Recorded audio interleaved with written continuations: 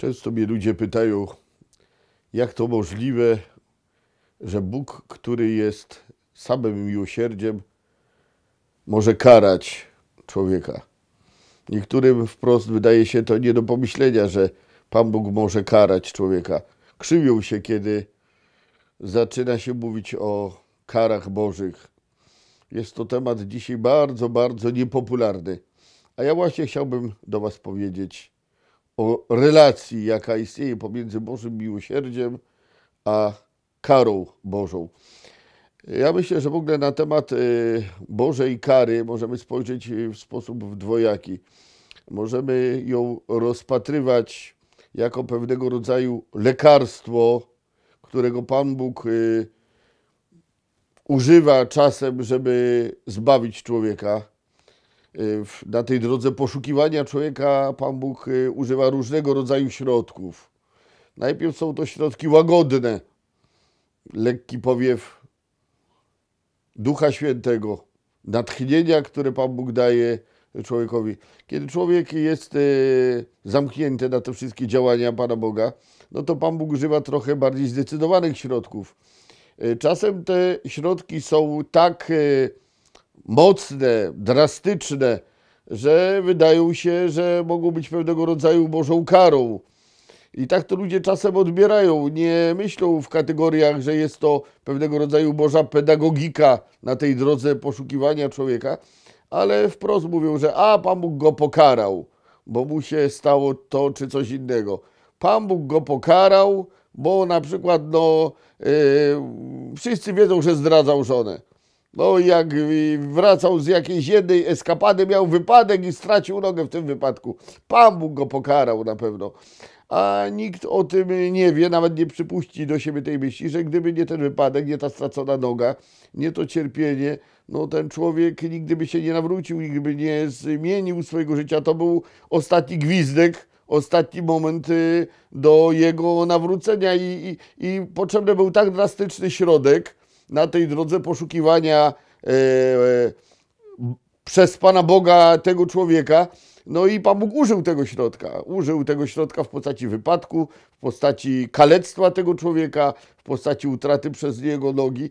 I dopiero ten drastyczny środek, bardzo bolesny dla tego człowieka, sprawił, że on e, poszedł po rozum do głowy, że się zreflektował i że rzeczywiście zaczął inaczej myśleć, nawrócił się i przestał zdradzać tę umiejętną żonę, którą zdradzał latami. No, e, czy potrzeba było aż takiego środka? No widocznie potrzeba, bo inne E, do niego nie trafiały. Te łagodne powiewy wiatru, te łagodne natchnienia do tego człowieka nie trafiały. Dlatego Pan Bóg użył aż tak drastycznego środka, który ludzi, który ludzie odczytali jako kara boska. A to oczywiście z karą e, w takim znaczeniu potocznym tego słowa nie ma nic wspólnego. Jest to Boża pedagogika, Boża pedagogika, którą Pan Bóg zastosował. No oczywiście możemy w przenosi powiedzieć, że jest to pewnego rodzaju kara, y, no dlatego, że był nieposłuszny Panu Bogu wcześniej, dlatego, że był taki oporny, zatwardziały, że, że nie słuchał łagodnych powiewów, y, sam doprowadził do tego, że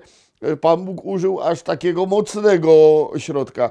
Gdyby dalej był nieposłuszny, to podejrzewam, że na pewnym etapie jego życia Pan Bóg by go zostawił już w spokoju i to by była jego największa tragedia. Największa tragedia, Pan Bóg go zostawił w spokoju, już nie pukał, nie stukał, nie używał y, drastycznych metod i środków, żeby go znaleźć i pociągnąć ku sobie.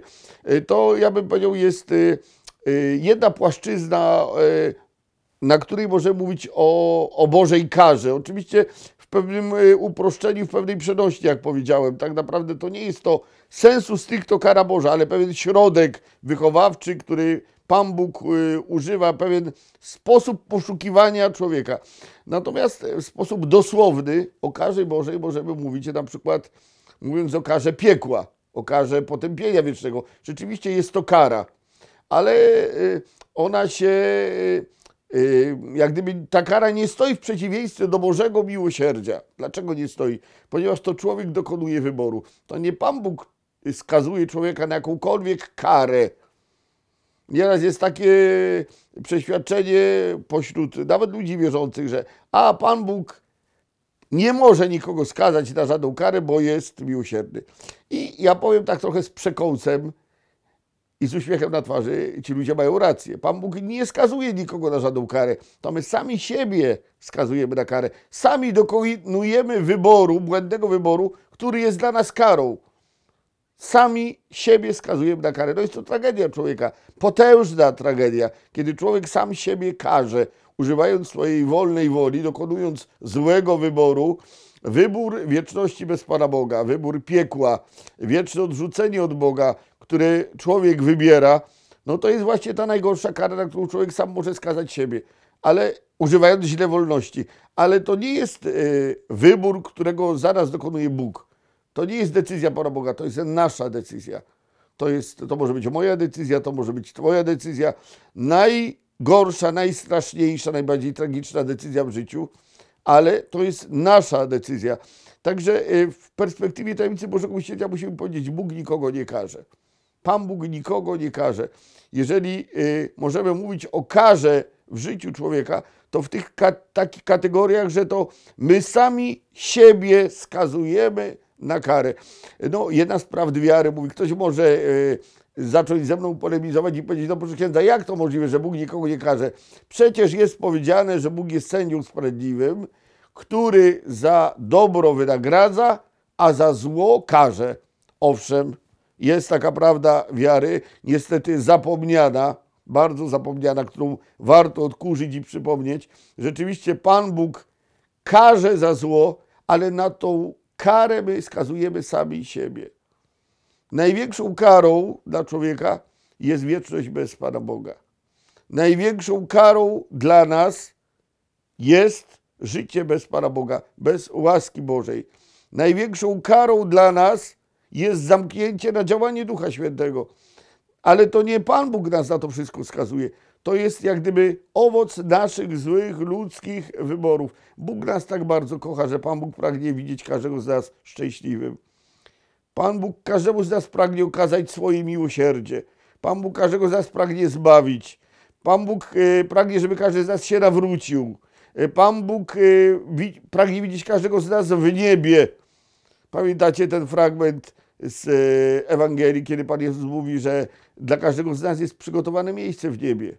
Idę przygotować wam miejsce, a kiedy odejdę i przygotuję wam miejsce, przyjdę powtórnie, żeby was zabrać, abyście byli tam, gdzie ja jestem. Dla każdego z nas jest przygotowane w niebie miejsce. Każdy z nas jest zbawiony, odkupiony drogocenną krwią Pana Jezusa. Pan Jezus nikogo z nas nie chce odrzucić, nikogo z nas nie chce potępić, bo byłoby to wbrew y, no, odwiecznemu y, zamiarowi zbawienia każdego człowieka. Natomiast jeżeli możemy mówić jakiejkolwiek karze, to tylko w tych kategoriach, że to my sami siebie skazujemy na karę. To jest y, kara, to jest nasz zły wybór, albo suma naszych złych życiowych wyborów. No i, i w takiej perspektywie, no to rzeczywiście kara jest czymś tragicznym. Czymś tragicznym, w podwójny sposób tragicznym. A więc jest jakimś złem, które doświadczamy z jednej strony, a z drugiej strony na to zło skazujemy sami siebie. Nie Pan Bóg nas skazuje, nie Pan Bóg nam to daje, ale my sami to wybieramy, uważając, że to jest dla nas dobre. Ulegając yy, yy, podszeptowi szatana, zauważcie, yy, że pierwsi ludzie, pierwsi rodzice, Adam i Ewa, no, ponieśli straszną karę za to, co zrobili. Pan Bóg im zabronił jeść z jednego drzewa tylko w, w ogrodzie Eden, z drzewa poznania dobra i zła. Powiedział, jeżeli zjecie, pomrzecie. Możecie jeść ze wszystkich drzew, możecie robić wszystko, co chcecie, nawet na głodzie, głowie chodzić. Nie wolno wam tylko jeść z jednego drzewa. No, ale oni, diabeł ich zwiódł i oni nie posłuchali. Pierwsza Ewa nie posłuchała, dlatego że diabeł ich zwiódł. Powiedział, jeżeli zjecie, to Pan Bóg wie, że będziecie jak On. Poznacie dobro i zło, będziecie panować, będziecie wielcy. No i Ewa uwierzyła.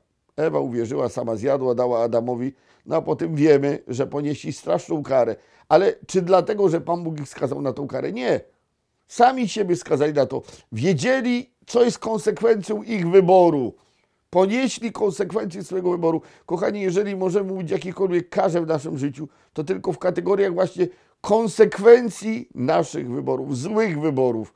Jeżeli dokonujemy złych wyborów, wyborów poza Bogiem, wbrew Bogu, wbrew Jego przykazaniom, to ponosimy konsekwencje tych wyborów. Yy, Znamy, jakie będą konsekwencje.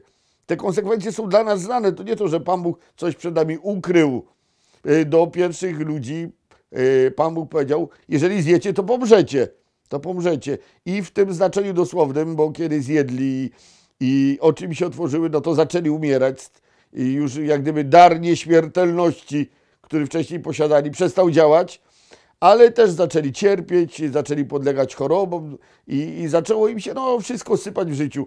I podobnie w naszym życiu jest. Dokonujemy złych wyborów, odrzucamy Boga, idziemy drogą szatana, nie Pana Boga. Zaczyna nam się w życiu wszystko sypać, yy, nie układać, yy, takie czy inne trudne yy, historie powstają i mówimy, a Bóg mnie pokarał. Pan Bóg go pokarał, Pan Bóg mnie pokarał. Pan Bóg cię wcale nie pokarał, Pan Bóg cierpi, płacze nad tobą że poszedłeś tą drogą, że dokonałeś złych wyborów. Yy, To, co spotykasz, te trudności, to nie jest kara Boża w dosłownym tego słowa znaczeniu. To jest kara, ale można powiedzieć w przenośni. To są konsekwencje Twojego wyboru, konsekwencje, które Ty znałeś wcześniej, przypisane do Twoich wyborów. Znając te konsekwencje, jednak dokonałeś tego wyboru. Kochani, nie obwiniajmy Pana Boga za nasze niepowodzenia. Nie obwiniajmy Pana Boga za zło w naszym życiu. Nie mówmy nigdy, że a Pan Bóg go pokarał. Y, Pan Bóg mnie pokarał. Y, Pan Bóg cię pokarał, bo ty pokarałeś sam siebie. Pan Bóg cię pokarał w tym znaczeniu. Ty pokarałeś sam siebie. Ty siebie skazałeś na zło, siebie skazałeś na cierpienie, ale sam siebie. To jest Twój wybór, owoc Twojego wyboru. Pan Bóg chciał inaczej. Pan Bóg to widział inaczej. Pan Bóg to poukładał inaczej. Ale no, my możemy krzyżować yy, Bożą wolę, Boże decyzje, Boże plany. Możemy naszą ludzką wolą, źle zrealizowaną Boże plany możemy krzyżować. I to jest największa tragedia naszego życia. Nie ma większej.